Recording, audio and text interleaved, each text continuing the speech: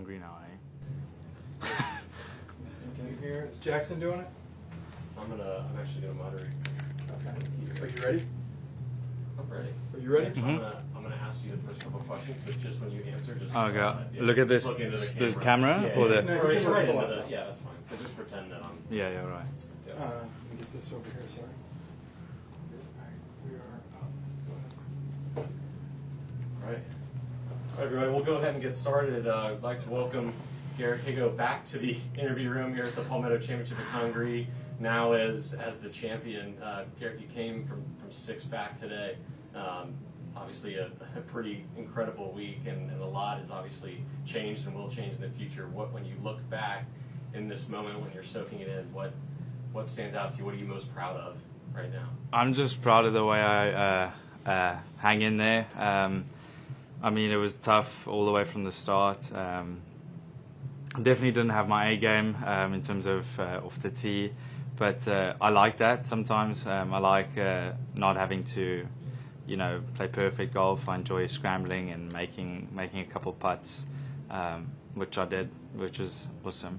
All right, well, with that, we're just going to go right into questions, guys. We'll, we'll start with uh, with Daniel Rapaport with Golf Digest. If you if you made it over to Steve's computer there, Daniel.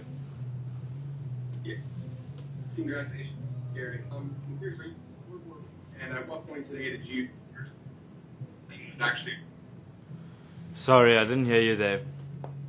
I said, are you a sport? And at what point did you start to believe that winning was actually a possibility? Yeah, I mean, usually I am a scoreboard watcher, um, but for some reason today I didn't watch it. Um, I was kind of just trying to stay stay in it. Um, you know, I didn't really want to, you know, try and push. Um, I mean, it's one of those courses that if there are a couple holes that you can definitely make birdie on, so I was trying to uh, capitalize on those. Um, but when I made eagle on on 12, um, I mean, I didn't have to scoreboard watch. I knew already I was kind of up there or close enough. Um, it was just whether Cheston was going to run away with it, and or you know if we were going to you know kind of stay up there and have a chance. Um, and luckily we did, and uh, I'm happy that I capitalized on it. All right, uh, next next question, Steve DiMeglio, USA Today.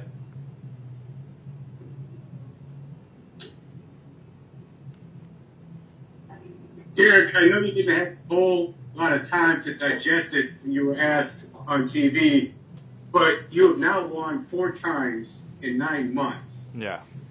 What's that say about you? What are you What are you thinking about when I when you know you've won four times in nine months? That's a good question. I haven't thought of it like that. Um, to be honest, I think I just enjoy the challenge. I enjoy uh, I enjoy playing. So I'm a very uh, tough competitor. I don't really get down on myself. I try and you know it's it's a cliche, but I try and you know stay in it. You know, I fight. Um, I think I just do that really well. I wouldn't say that there's something that I do that's you know out of the ordinary. You know, which you know makes me special, but I think I just really, uh, I think I'm a good competitor, if that makes sense. Yeah. Yeah. Do you, does this change your expectations at all? No, it doesn't. Um, I think I'm good with that. Uh, I mean, it's just I've just gone to another level now. Um, so I'll just see what my game can do. I enjoy playing and uh, seeing, you know, what my game does and where it takes me. Um, you know, I'm going to continue with that. I don't, I don't think there's any need to um, put unnecessary expectations on me. Thank you, sir. All right, next question, Cameron Morfitt, PGAtour.com. Hey, Doug. Uh, just was wondering, is your dad a was your dad a golfer? Was he a sportsman? Did he introduce all of the siblings to golf, or just yourself? Yeah, uh, good question. Um, he just played social golf. Um, he was a very good cricketer. He was six foot ten, I think, so he was really, really big. Um, my uncle is like six foot eleven. Um, so uh, yeah, we're a big family. I'm not that big. Uh, my brother is very big though.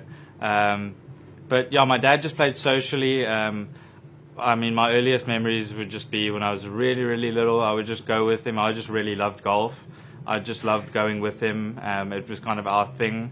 My brother kind of went with as well, but he wasn't really that interested, which I think is good. We kind of, me, my brother, my sister, have our own things um, that we, you know, do well, and uh, we support each other in you know in that you know yeah.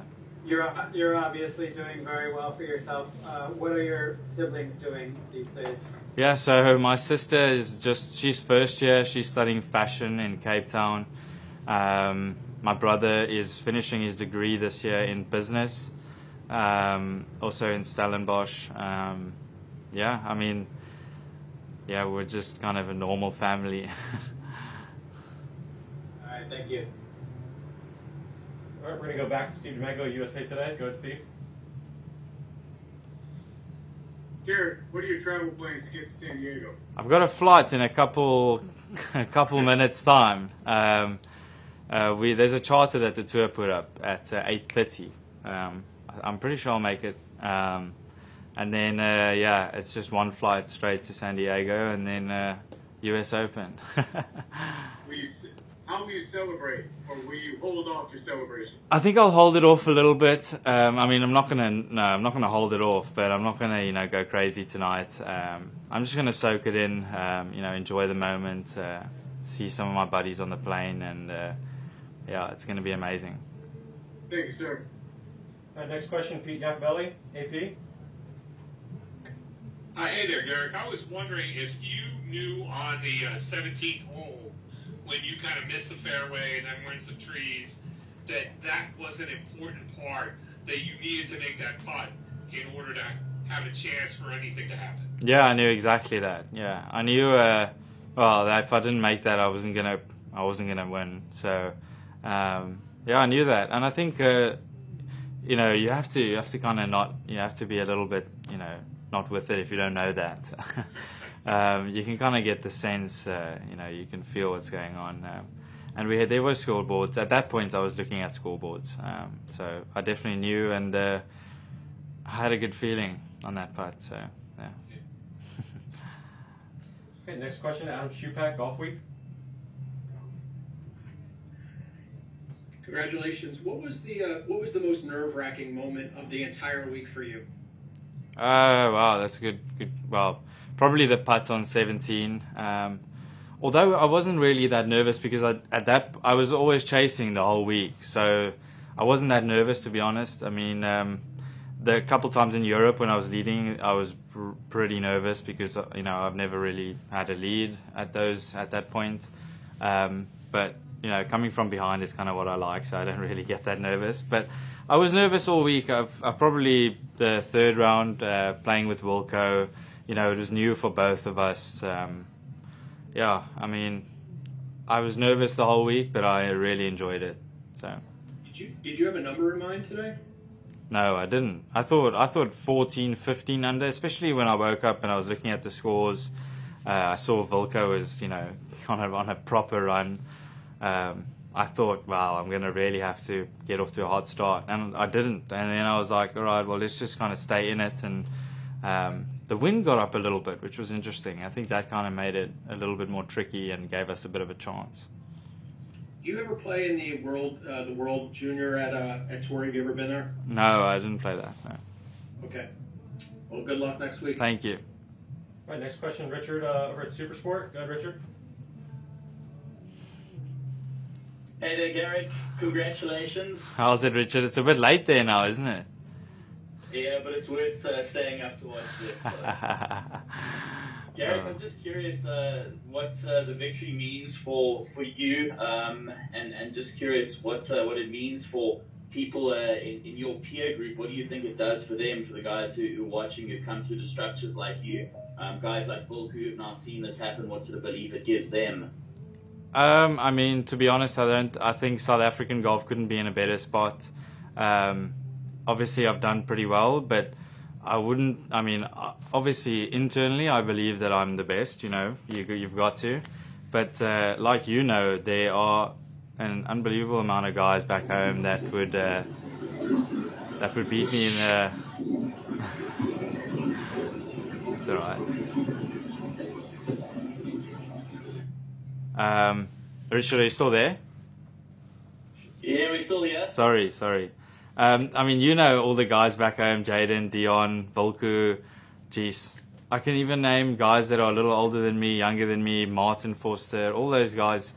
on the day they can beat me easily, you know. Um, and I think uh, I think it's very encouraging, and uh, hopefully they do exactly what I've done. That'll be awesome. All right, guys, just time for a, a couple more. Cameron Morfitt, PGAtour.com. Uh, yeah, Garrick. So now you have the luxury of playing, um, I guess, wherever you want. And do you, do you imagine yourself playing full time on the PGA Tour, or do you imagine yourself more of a global player who kind of plays the PGA Tour and the European Tour at the same time? Um, good question. I think, uh, I mean, my dream's always been to play on the PGA Tour permanently. So, at the moment, I'll focus on that. See, uh, see, you know, see if I can keep going. Um, obviously, I'll play on the PGA Tour, you know, for as long as I want, you know, and hopefully I can play on here forever. Um, but I'll play in Europe for sure. Um, my focus is still race to Dubai, see how I can finish on that, um, and then play the a couple Sunshine Tour events as well. I mean, I'm, uh, you know, if it wasn't for them, I wouldn't be here. So. And has Wilco texted you? And what did Wilco say if he has texted you? Uh, I mean, I haven't looked at my phone, but I saw him. Uh, he he waited uh, after 18, so that was awesome. I mean, that that meant a lot. All right, congrats. Thank you. All right, we got time for one more. Richard, you, did you have one more? See your hand was raised again. Yeah, thank you. Um, Garrick, I'm just curious um, if you've spoken to, to Mr. Player at all um, this week, uh, if you spoke to him at all during your time in, in the States, what, uh, what those conversations have been like. Yeah, I've spoken to him quite a lot actually. I spoke to him the whole week throughout Kiawah. Um, he phoned me after about after every round. We spoke about the round, about you know all sorts of things about my swing, whatever, all that stuff. Um, and then I, he phoned me this morning actually, um, and uh, he just told me that you know he's done it before quite a few times where he's won from six behind, seven behind, um, and you know he just said don't you know don't uh, think too much about what the other guys are doing. Um, just kind of do your thing and, and, and stay up there, and you never know what can happen. So, yeah. Perfect. All right, well, Garrick, congratulations Thank you. again, and uh, we see you out here on the PGA Tour Yeah, tomorrow. you guys will. Thank you. Thanks so much. All right, Yeah, before all right. you run off, we have some stuff for you to sign. Yeah. Do you want to, do you want to have him thank anybody on camera? Yes, we need to do just a couple of quick video messages, and then and then we can sign some stuff. Yeah. Do you? Uh,